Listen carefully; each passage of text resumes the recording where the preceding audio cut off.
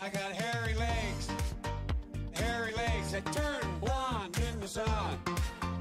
In the sun, come rub my legs from the morning until the day's done. Till the day's done. We are at the end here. I got hairy legs. Yeah. You heard what I said. You heard what I said. I got hairy legs. Yeah, man. Watch the hair come back It's only 60 seconds, not up yet.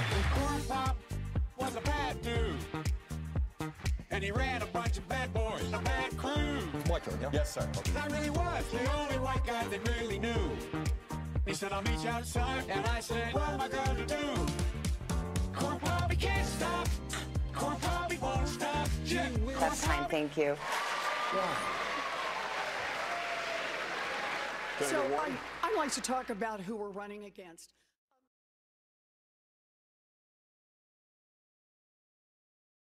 Bye.